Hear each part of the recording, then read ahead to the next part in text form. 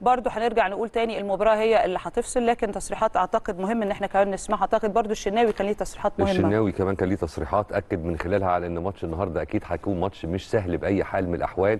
آه، اتكلم يعني نقدر نقول هو كان بيحاول يب- يبعت رسائل ضمنية مقتضبة اتكلم بطبيعة الحال من خلالها عن أهمية المنافسة في البطولة بشكل عام وذكر تفصيلة إن النادي الأهلي كما هي عادة النادي الأهلي بيحترم كل المنافسين. وزي ما قلت لكم من شوية برضو اتكلم بشيء من الإيجاز عن مدى صعوبة المباراة النهارده أمام سان داونز وإن كل اللعيبة في النادي الأهلي في حالة من التركيز الشديد وكلهم بدون استثناء عندهم نفس الرغبة العارمة في بالظبط. تحقيق نتيجة إيجابية أمام فريق سان داونز وحسم مباراة الذهاب قبل لقاء العودة في القاهرة. تعالوا نتابع مع حضراتكم من خلال هذا التقرير نشوف مستر كولر قال إيه والشناوي قال إيه. اتفضل.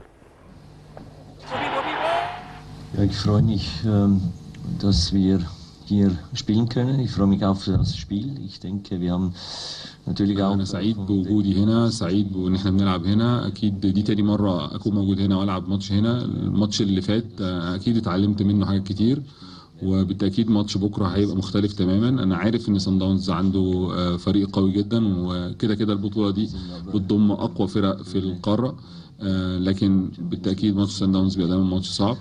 لكن آه، إحنا برضه جايين هنا كأبطال دوري الأبطال. إحنا آه، النادي الأهلي أكبر نادي في القارة.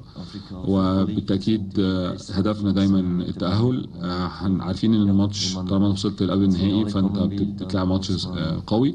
لكن هدفنا دايما إن إحنا نكسب. هدفنا إن إحنا نكسب الماتشين. آه، أو على الأقل إن إحنا نتأهل.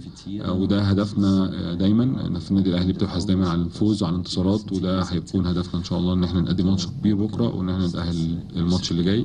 وأول ماتش هيبقى بكرة فلازم إن إحنا نعمل فيه كل حاجة عشان نتأهل للنهائي بإذن الله.